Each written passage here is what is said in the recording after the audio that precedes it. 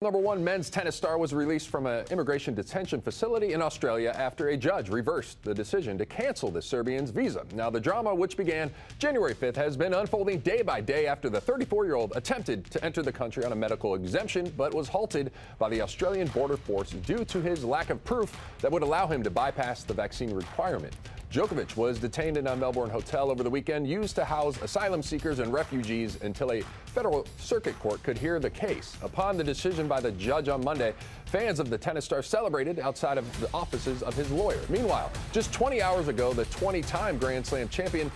took to social media posting a photo on the tennis court in Melbourne expressing his gratitude and saying despite everything that has happened, he wants to stay and try to compete at the Australian Open and remains focused on that, going on to thank his supporters for standing with him and encouraging him to stay strong.